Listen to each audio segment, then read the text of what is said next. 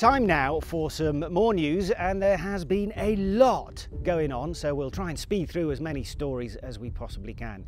We should probably start with Triumph who have been particularly busy since our last update with new model announcements and some cool and some cheesy marketing.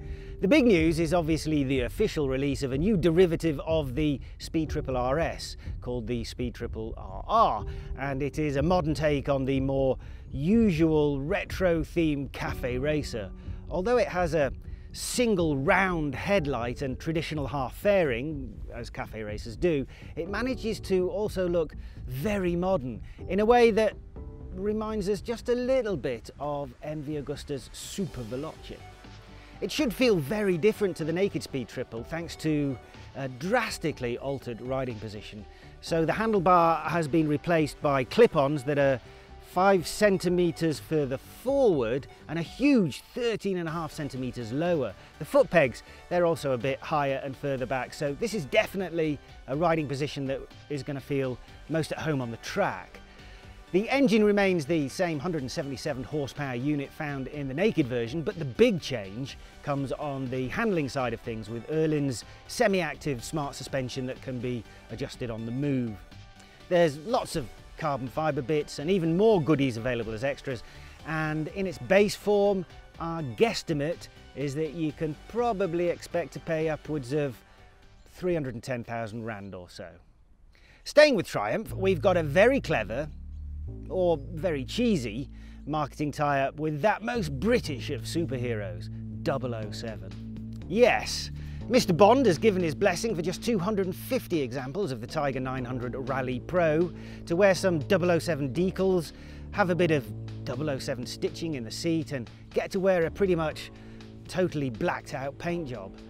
The latest film, the last to feature Daniel Craig, No Time to Die, has some big action sequences involving the Tiger 900 and so, with a certificate of authenticity no less, you'll be able to live out your own two-wheel secret agent fantasies. Everyone is going to think you are very cool indeed. And absolutely nobody will think you are a sado who went to watch the film on your own because your girlfriend's lying at home deflated. At least when the embarrassment gets too much, you can cover the 007 stickers and still have an absolutely brilliant adventure bike. And just for one extra final bit of Triumph marketing, which I happen to think is a lot cooler, here is a goat riding the soon-to-be released new Tiger 1200. Ricky Carmichael is the greatest of all time motocrosser who is putting the biggest of the Brit Tigers through its paces here, after which he tells everyone how unbelievably well the new bike handles. I'll be kind and take him at his word, but I also have a feeling he could have thrown a Rocket 3 around that motocross track and it would have looked like that bike was meant to have wings as well. Moving on from the hype machine that is currently Triumph, but staying with British engineering, we have some footage of early testing from the White Motorcycles Concept land speed record bike. You may remember that we featured this electrically powered machine a couple of months ago in the news, not because of its very catchy name, but because of its remarkable aerodynamic design that features a ruddy grey hole running the length of it. The bike is aiming to set a series of new land speed records in just under a year in Bolivia, South America, and it has just passed some major shakedown tests at Bruntingthorpe Airfield in the Midlands in the UK. The bike doesn't yet have the full power electric motor it will need to get past the 400 km an hour mark that will bring it those world records, but it already features drive to the front wheel as well as chain drive to the rear wheel enclosed in the swing arm. Let's move to Italy now, where the big news is coming out of Mandello del Lario, the home of Moto Guzzi. This is a manufacturer that doesn't exactly produce a lot of new models, so when they announce a major new bike, it really does make headlines.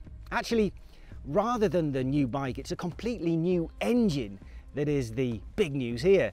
The bike is the V100 Mandello and the engine is a one litre V-twin, as you'd expect.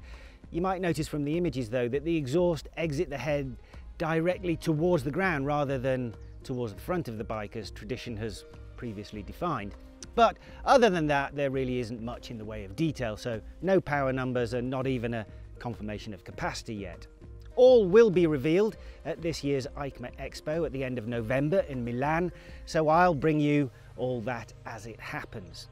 The V100 designation celebrates 100 years of Moto Guzzi, and along with the new model it has also been announced that there will be a new factory and museum in what is a really big investment for the Italian manufacturer.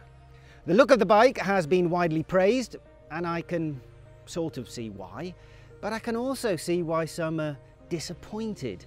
There was never going to be anything too radical, but although it's kind of neat and modern for a Guzzi, it also reminds me of some bikes that were around in the 1990s. Let's not forget that Moto Guzzi had some stunning concepts designed for it by South African design legend Pierre Terblanche 12 years ago, yet nothing came of them unfortunately, so the rather conservative look of this new model probably shouldn't be too much of a surprise. And a final bit of news if you're a biker who uses an iPhone for navigation while riding. If you mount your phone directly to the bike via the handlebar so you can see the screen, which is something that many of us do, then you might need to rethink your approach.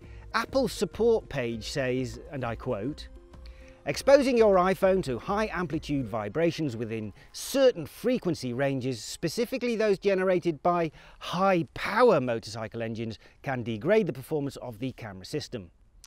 No worries then if you own a Harley Davidson. Apparently it can lose the ability of the camera to focus, which is quite an important feature.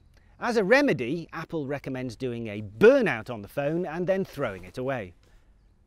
No, sorry, that was my response to my iPhone's susceptibility to a bit of moisture a few years ago when I decided to abandon Apple's phones in favour of something that was a bit more sturdy.